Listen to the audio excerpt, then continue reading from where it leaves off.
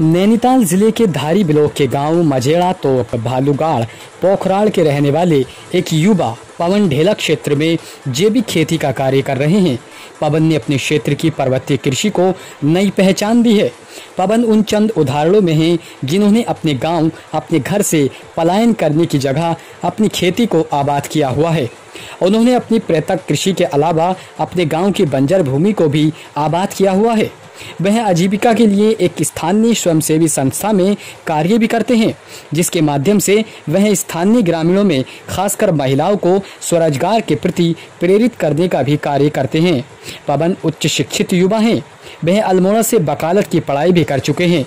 बावजूद इसके, वह अपने गाँव की कृषि और परिवेश के लिए समर्पित हैं। आज उन्होंने गाँव में लौकी, खीरा, कद्दू, टमाटर, भिंडी जैसी सब्जियों का उत्पादन किया हुआ है। इसके अलावा वह जैम, जेली, जूस की प्रोसेसिंग का कार्य भी लघु स्तर पर कर रहे हैं। पवन ने पोली हाउस भी लगाया हुआ है। पवन अपने उत्पादों को लेकर महानगरों में लगने वाले फेयर और प्रदर्शनी में भी स्टॉल लगाकर विक्रय करने का भी कार्य करते हैं, जहाँ वह भट्ट, गहता, मंडुआ जैसे विशुद्ध पर्वतीय उत्पादन का विक्रय करते हैं। आज उनके उत्पादों को न सिर्फ़ एक नई पहचान मिल रही है, बल्कि उनके प्रयासों से स्थानीय ग्रामीणों को भी प्रेरणा मिल रही है। सरकार को चाहिए कि वह ऐसे युवाओं को प्रोत्साहित करने का कार्य करें, जिससे युवाओं का रुझान कृषि की ओर बढ़ सके। यूके टीवी के लिए मयंक मैनाली की रिपोर्ट।